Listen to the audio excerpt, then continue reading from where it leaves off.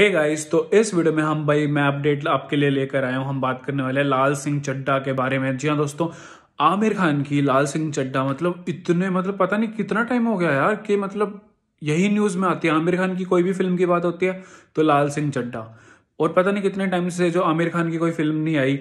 अब दोस्तों ये खास बात यह है कि लाल सिंह जो चड्डा है, लाल सिंह चड्डा जो है वो गाइस रिलीज़ होने वाली थी 2020 में। जी हाँ दोस्तों 25 दिसंबर 2020 में ही रिलीज़ होने वाली थी। लेकिन आपको पता है पैंडेमिक की वजह से जो है नहीं हो पाई। अब दोस्तों, इस फ़िल्म के लीड रोल में है आमिर खान, करीना कपूर और नागा चैतन्य, जो कि एक साउथ के एक्टर हैं। आई थिंक तेलुगु फ़िल्म के एक्टर हैं वो। और गाइस ये जो फ़िल्म है, वो कब रिलीज़ होगी? अगर हम ये बात करें, वैसे मैं आपको बता दूँ कि ये रीमेक है फॉरेस्ट गंप की। जो कि 1994 में आई थी ये फ़िल्म। अब दोस्तों आपको याद होगा कि आमिर खान की जो जितनी भी मूवीज़ आती थी ना वो किसी ना किसी मतलब मेनली क्रिसमस पर ही रिलीज़ होती थी साल के एंड में और साल की एक ही पिक्चर आती थी। अब तो खैर काफ़ी टाइम से आई नहीं आमिर खान की फ़िल्म और गाइज़ ये जो फ़िल्म आ रही है ये भी एक त्योहार पे ही आ, आ रही है। बेसिकली बैसाखी के त्योहार पे 14 अप्रैल 2022 को।